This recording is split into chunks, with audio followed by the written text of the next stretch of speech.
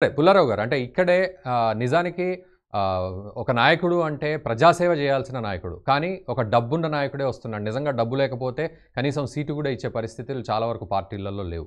So సేవ చేసే విషయంలో అసలు నో ఎంట్రీ బోర్డు పెట్టే పరిస్థితికి వచ్చింది. కట్ చేస్తే ఇటు స్ట్రాటజిస్టులు. సో పూర్తిగా ప్రజాస్వామ్యం అనే మాట పక్కన పెట్టి ఈ స్ట్రాటజిస్టులు ఈ గెలుపు ఓటములు ఇవి మాత్రమే వచ్చాయి. సో ప్రజా సమస్యలని ఎప్పుడో పక్కదారి పట్టాయి. సో మరి ఇది ఓటరు ఎప్పుడు గుర్తిస్తాడు? భవిష్యత్తులో ఇలాగే కంటిన్యూ అయ్యి ఒక ఏ విధంగా తయారవుతుంది ఈ సిచ్యువేషన్ అంతా? లేకపోతే మళ్ళీ మార్పు ఏమైనా వచ్చే అవకాశం ఉందా? మన భారతదేశం ఈ పది పదిహేను సంవత్సరాల ఇరవై సంవత్సరాలు బట్టి ఏ రూట్ మీద వెళ్తుందంటే వెల్ఫేర్ అంటున్నారు కానీ ఫ్రీ బీజ్ మీద ఎక్కువ వెళ్ళిపోతున్నాం ఉమ్, ఫ్రీ బీజ్ మీద. ఇది పది సంవత్సరాలు ఇరవై సంవత్సరాలు నడుస్తుంది. ఖజానా మూసేసే వరకు ఆర్థిక వ్యవస్థ పాడైపోయావు. ప్రపంచంలో అతి పెద్ద అతి రిచ్ పర్ పర్సన్ అర్జెంటీనా ఉండేది. ఓకే. ఆ పంతొమ్మిది వందల యాభై నుంచి పాడైపోయింది.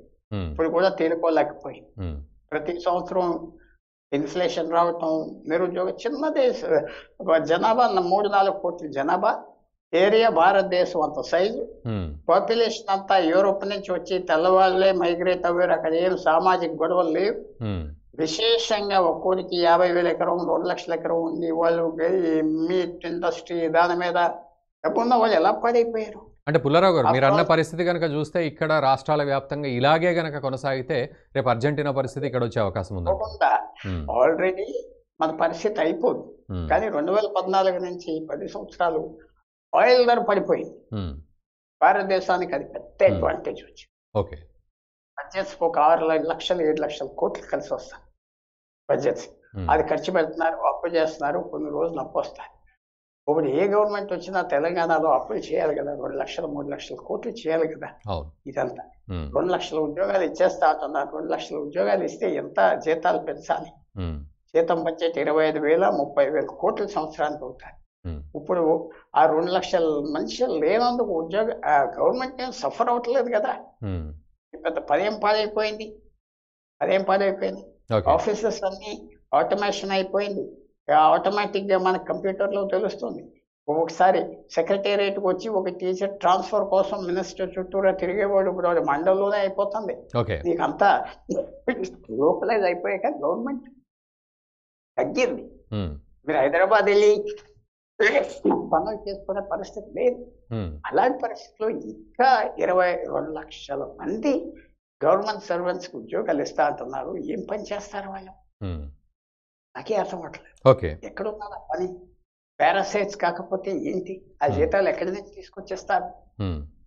నాకు ఇప్పుడు ఏంటంటే ఏదైనా ఎలక్షన్ గెలిచి ఎలక్షన్ గెలిచి మనం పవర్లోకి రావాలి ఢిల్లీలో పవర్ గ్రాప్ చేయాలని టెరబుల్ కాంపిటీషన్ వెళ్తుంది ఓకే. మీరు అన్న మాట ఎవరు వచ్చి డబ్బు ఉన్నదంటే ఇండిపెండెంట్గా పోటీ చేయడం కాదు. ఏదో పార్టీలో దూరి ఆ పార్టీ ఇన్ఫ్రాస్ట్రక్చరు ఆ పార్టీ ఐడియాలజీ ఆ పార్టీకి ఉన్న బలం కొనుక్కోవటం. ఎలక్ట్ అవటం నువ్వేం చేయక్కర్లేదు. మళ్ళీ నీకు టికెట్ ఇస్తే చేస్తావు లేకపోతే వాళ్ళు ఇంకో ధనవంతుడిని తీసుకొస్తారు కొత్త క్యాండిడేట్ కావాల్సి. సో. సర్వీస్ అనేది పోయింది. లింక్ అనేది కూడా పోయింది. ఓటర్కి మనిషి ఇంకో గ్లాస్ పాయింట్ చెప్తా. మీరు పంచాయతీ చాలా బలంగా ఉంది పంతొమ్మిది వందల తొంభైలో తొంభై రెండులోనో ఎప్పుడో. నా జ్ఞాపకం చెప్తున్నా పంచాయతీరాజ్ యాక్ట్ తీసుకొచ్చాక ప్రతి పంచాయతీకి ఏడు కేటగిరీస్ పెట్టారు సర్పంచ్కి. ఎస్సీ మగడు ఎస్సీ ఆడ ఎస్సీ ఎస్టీ మొగ ఎస్టీ ఆడ బీసీ మొగ బీసీ ఆడ ఓసీ ఉమెన్. అయితే నువ్వు సర్పంచి ఒకసారి మీరు ఎలక్ట్ అవుతే మళ్ళీ ముప్పై ఐదు సంవత్సరాల వరకు ఎలక్ట్ అవ్వలేవు. నీకు ఏం ఇంట్రెస్ట్ ఉన్నది సర్పంచ్గా అక్కడ? ఆ సంవత్సరం కన్నా మీరు కోఆపరేటర్గా ఎలక్ట్ అవ్వలేక Hmm. మళ్ళీ రొటేషన్ చేస్తారు కదా ఇంకో కులముడికి ఇస్తారు కదా అక్కడ. అవునవును అవును. ఆ లింక్ పోయింది సర్వీస్ పోయింది. రాబోయే రోజుల్లో మనం చూడబోయేది అసెంబ్లీస్ కూడా పార్లమెంట్ కూడా ఇలా చేస్తారా? చేస్తే లింక్ ఉండదు ఇంకా. లింక్ అనేది ఇది చాలా దూరంగా వెళ్ళేది. ప్రపంచంలో ఎక్కడా లేని సిచ్యువేషన్ భారతదేశంలో తీసుకొచ్చి పెట్టారు.